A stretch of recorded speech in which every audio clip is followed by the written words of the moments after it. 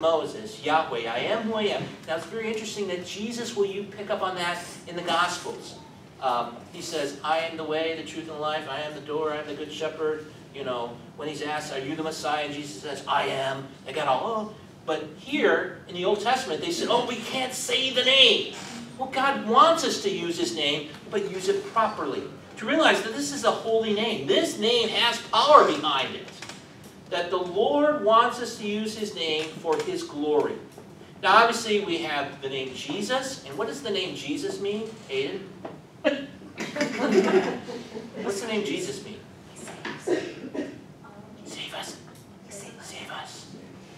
You have to save us from our sins. I'm just picking at you because I figured. But that's, you know, the word Jesus means he saves us. And we're going to talk about that in a little bit. How, how Yahweh, I am who I am, then changes to Jesus, the one who comes to save us from our sins.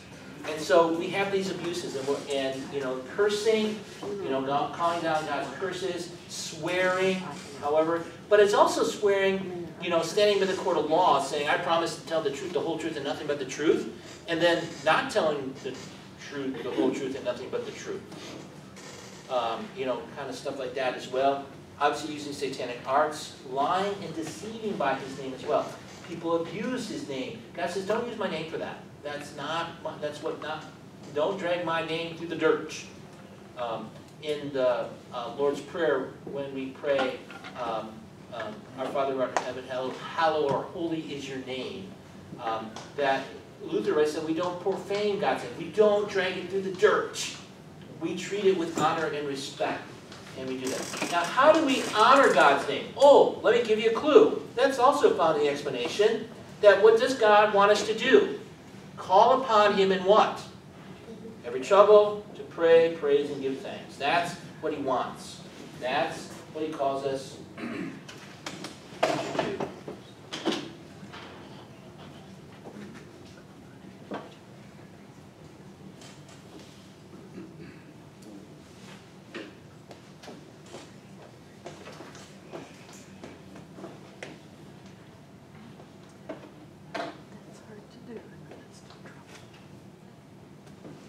do. This, the next five the names are going to jump around. Go to question number 45. Go to question 45. This helps answer question 45. You know, what are the names does God have in the Bible? Obviously, Father, Son, Holy Spirit, Lord, Savior, Redeemer. But there are other names here. What I want you to do is read through those two paragraphs and write all those names. Whew. Whew. There are a bunch there. Take about a minute to do that.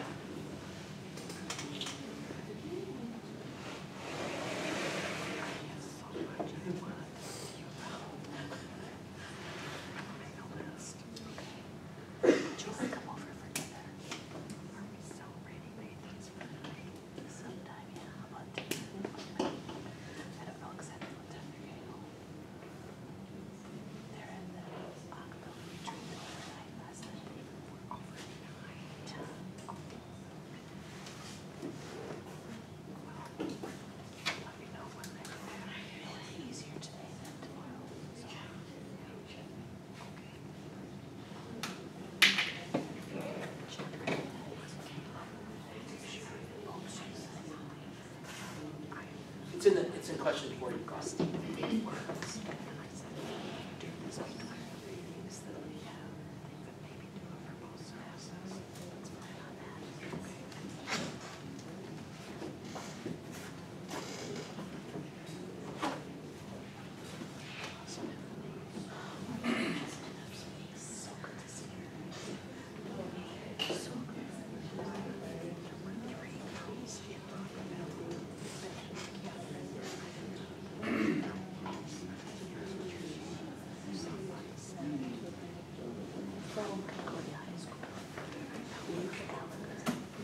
I, I must confess, I made a mistake.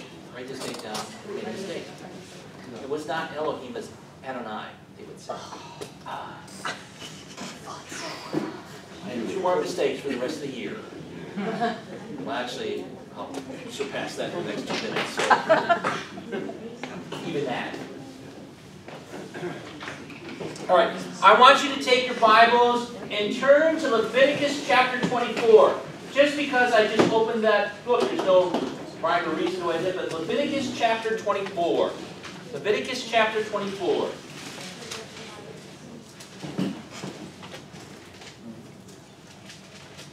What is the second word in Leviticus 24, verse 1? It's what? Lord. And how is it spelled? They're all capitalized. In our English Bibles, whenever you see the word Lord in all capitals, it's the one for Yahweh. It's the, the Lord, the I am who I am. It's Yahweh. So when you have, whenever you see Lord in all capitals, it's the word Yahweh. If it's lowercase, then it's one of the other names uh, for God. Uh, Adonai, Elohim, El Shaddai, Emmanuel. What does Emmanuel mean? God with us. Anytime you see a name in Hebrew, in the English, ending in EL, EL is just the generic name for God. Um, usually the, what goes on before that is describing who, what this God does. Um, so, Emmanuel with us, El Shaddai, the God Almighty, the most powerful, and things like that. And so, you, you have that. So, um, when you get to Jesus' time, they would not say Yahweh, they would say Adonai. Now, in the Hebrew language, there are no vowels, they're all consonants, but underneath is what we call vowel pointing.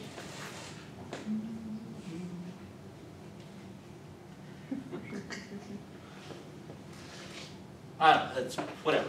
That they're, they're, they're vowel pointing for the vowels underneath, so that we who came generations later would know what, what the word is. In the Hebrew Bible, they would write the consonants for the letters of Yahweh, but underneath they would put in the vowel pointing for the word Adonai. And what you get is the word Jehovah. So Yahweh with the vowel pointing of Adonai is the word Jehovah. Now, Jehovah is not a real word. I mean, it's a made-up word of two words together. So, uh, you know, I always cringe when, oh, Jehovah God. It's Yahweh. You know, when the Jehovah Witnesses come to my door, do you know that Jehovah's not a real name? It's more flesh. They don't come to my door anymore. I do that too much. It flusters me. From in your yard, don't come to Well, I think, I, I know that they do, I think my house is marked. Because I, I see them walk by and they go, I'm going, Check their list. Oh, Yeah, wait a minute, I want to talk to you. My favorite discussion is with the Mormons. They're fun too. Got it totally wrong, but they're fun too. All right. Bottom of page um, 21. God uses his names to reveal who he is. There's always something happening when God uses his name. Like in Genesis 1 and 2, uh, the word is Elohim, meaning creator God. It's not Yahweh. Yahweh comes in wait, comes later in the in the book of Exodus. Um, and so God ties it to that. Now, in your catechisms, turn back to question number 42 and 43. 42 and 43. God reveals who He is through His name, what He has come to do. So, in Genesis 3 13 to 15, I want you to write underneath that the name that God gives to Moses. I already gave it to you. But what's the name that God gives to Moses? It's Yahweh. I am who I am. That's his personal name. That's a business card. Yahweh. When he calls and leaves a message, oh, this is Yahweh.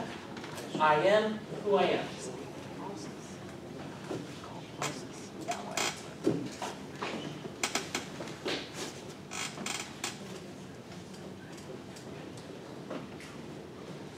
All right. Now, let's, we're at Exodus. Let's fast forward 14, 1500 years to the birth of Jesus, um, in Matthew chapter 1, this is a dream that's given to Joseph. Joseph finds out that Mary's pregnant, uh, but he's not the dad. Oh, okay. But then the angel of the Lord says to Joseph, You shall name his, his name shall be what? Jesus. Jesus. So under Matthew 121, I want you to write the word Jesus, which means what? Save us from our sins. So we could say when we're reading the Bible and Jesus, oh, the one who's come to save us from our sins. I wonder how different we our thinking would be if every time we saw the word Jesus, we didn't say just Jesus, we say, oh, the one who came to save me from my sins. Oh, that kind of puts a different perspective on things. Not Jesus, who plays second base for whoever.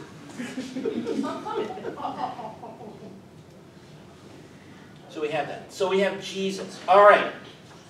First Corinthians 12. So not only is he the one who saves, but what's the name that Paul gives to Jesus? No one can say Jesus is Lord. Lord. Now he put it in small letters, but you could, in the Greek that he uses, it's making reference to Yahweh. So Jesus is, I am who I am. The one who came to save me is the one who created the heavens and the earth. So you see how the scripture shows, oh, here's God's name, and this is what God is doing.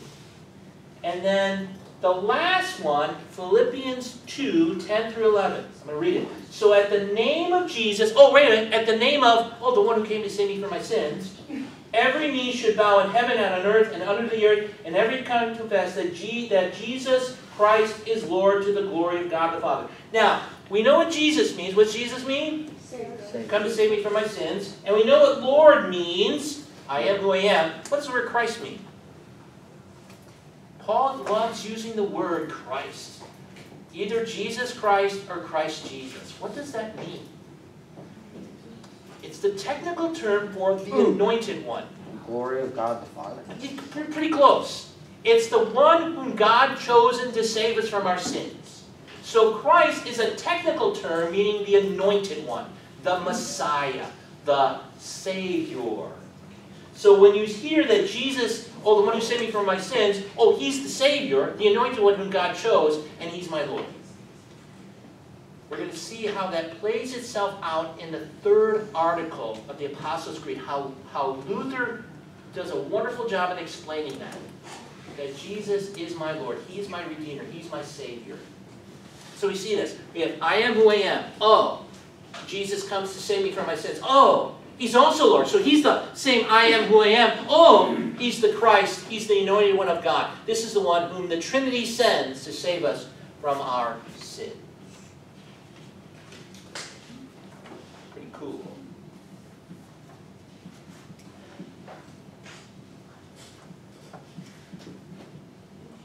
All right, I think we're going to end up do um, on top of page 22. Um, if you notice, I'm not really concerned whether or not I'm getting through all this stuff right away, because we'll catch up with the other commandments. But it's very important that we get these. Yes. The Old Testament's filled with the word Lord with all capital Yes. letters. And it was written that way because the Jewish people were afraid they would break the second commandment. Correct.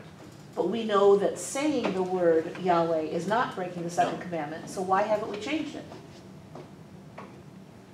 Meaning, put it in. The not. Bible translators, why haven't Oh, we changed they it just- back to Yahweh? Well, that, that's what, when they put that in there, they're telling us that is the word Yahweh, as opposed to one of the other lords. Because you got uh, uh, Adonai and El Shaddai, and all those could be translated as Lord as well. But when they put it in all capital letters, it's so that we know this is I am who I am. That's how the translators, to let us know, unless there'd be a lot of footnotes in the bottom of the page of our Bibles. So that's kind of what they do. They, they make the assumption that when we read that, we know that's the word Yahweh. they shouldn't assume things. Well, there are some Bibles that it actually, means. well, some of the Bibles, I've read some Bibles that has the word Yahweh in it. I mean, it, it, they use Yahweh, but Not everybody knows that. That's what I'm telling you now, so you could go look for a Bible that says Yahweh in it. Okay. Christmas is coming. All right, grab a partner, well, actually do your table. Look at the list uh, you made in the first section. So you have the abuses, the honors, the names. Select two or three things from each of the abuses on our list. Review question number 44. Question number 44. And how do we first fear and love God by not using His name? And we swear and thoughtlessly or measly in vain as a curse word. Manipulate that. So what I want you to write, I mean, we talked about that, but saying, how do we do that? How does that happen in real life? How do we misuse God's name?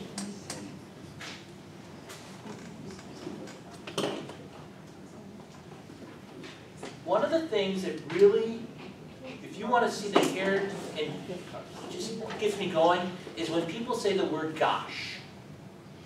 Oh gosh. Well, what, what are you actually saying? Oh God.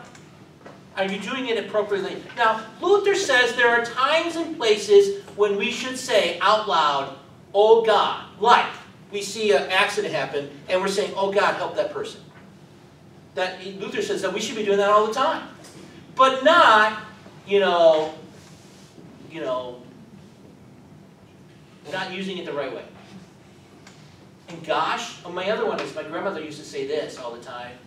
Uh, instead of damn, she would say, dog and we're going, my sister and I going, because we would go to Sunday school and we're told not to do that, and we're going, Grandma, what are you doing that for? I mean, that we, we, got, we want to come up so close to it, but remember, God's name is holy. You are using His name, and what are you using it for? For blessings or for curses? Let me tell you, God can curse by Himself. He doesn't need our help to make that happen. But He wants us to use His name for blessings. So however you want to write that in there, and how He responds to the abuses, remember? Do not curse, swear, use satanic or deceive by His name, and then we honor that. How do we do that? In praying when we are in trouble. When we're praising God, when we're thanking Him. God wants us to use His name. Yes.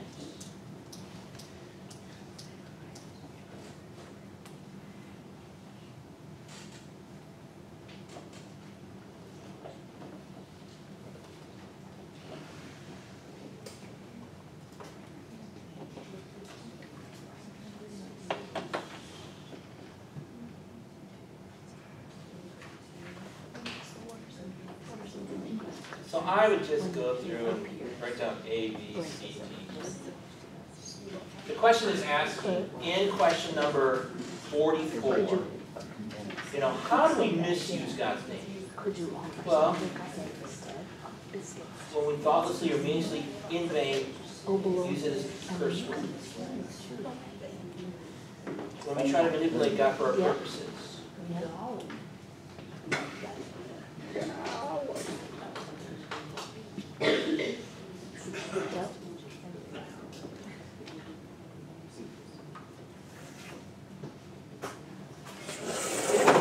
Mentioned in the court of law, I go in and, well, I used to, not anymore. I used to your on Bible. Rob still, yes, so help me God, yes. And I go up and lie, you just broke the second commandment. If you know that you're lying, why did you just say, oh, this is God's untruth? No, it's not. He's lying.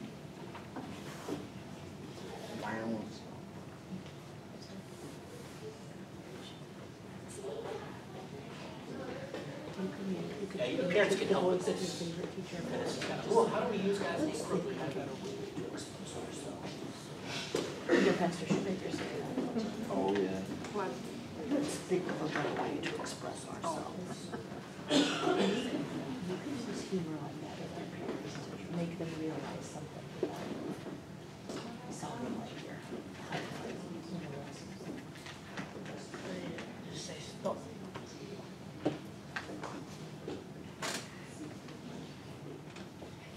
Does food work? Food works. Rats. Yes.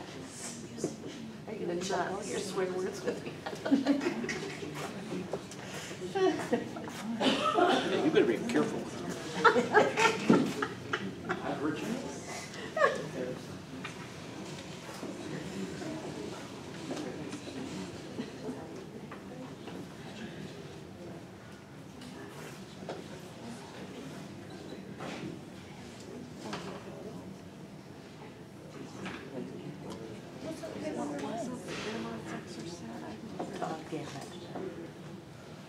She switched the D and the G. Dawn. Now that's an interesting one. Are you fixing socks? It's kind of like, gosh.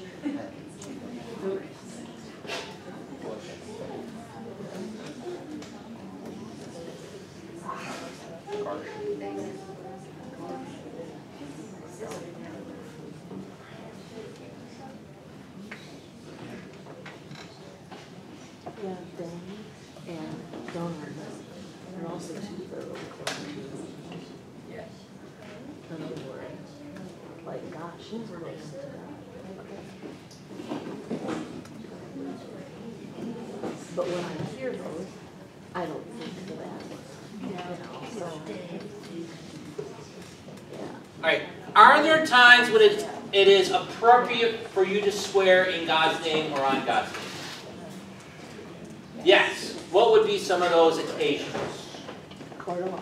Court of law, obviously if I'm standing up there, promise, tell the truth, whole truth, nothing but the truth. Where else? Every married person in here did this. Baptism. Not your baptism. God God makes a promise to you at your baptism. When, when I married my wonderful wife on June 27, 1992, yes, I made a promise, swearing to God to the best of my ability that I will love, honor, you know, sickness and health, richer for poor, all that stuff.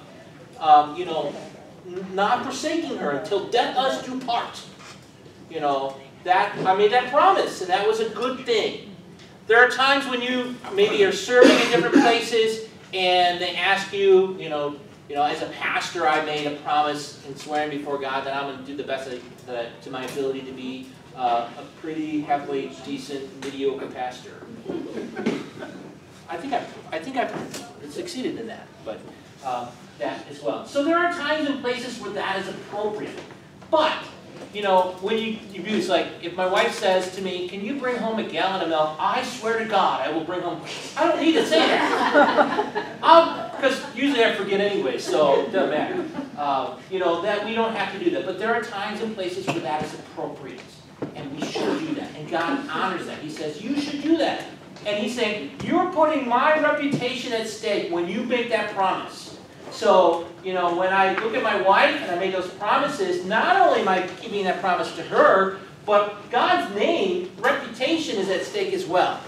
And so I have to remember that as well. All right? No class next week unless I decide to wake you all up at 4 o'clock on the bus on Sunday morning and go through this stuff. But, uh, no class next week. So we should bring our Bibles. No. I'll You probably will. Hey, what bus are you on? So, all right, have a good rest of your day. Have a great day. And Tristan, this will be up today sometime. The other ones are up. I put them up this morning. I apologize. Every time I reminded myself I should do that,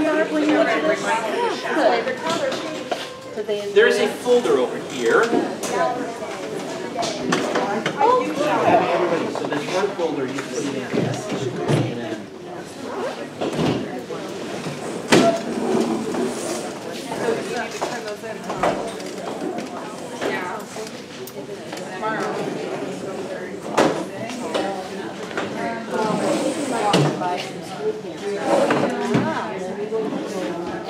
lunch first.